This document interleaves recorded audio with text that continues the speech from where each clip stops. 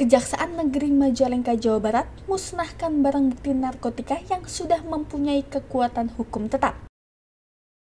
Berbagai jenis narkotika berupa ganja seberat 23,41 gram, sabu 8,94 gram, dan ribuan obat-obatan yang disalahgunakan dimusnahkan, serta puluhan unit barang bukti handphone hasil kejahatan. Pemusnahan dilakukan menggunakan alat blender, palu, dan dengan cara dibakar bersama unsur muspida di halaman kantor Kejari Majalengka. Pemusnahan ini dilakukan Kejaksaan Negeri Majalengka sesuai dengan undang-undang yang mewajibkan Kejaksaan Negeri untuk memusnahkan barang bukti yang sudah berkekuatan hukum tetap karena para tersangka dari kasus itu sudah diputus oleh Pengadilan Negeri Majalengka.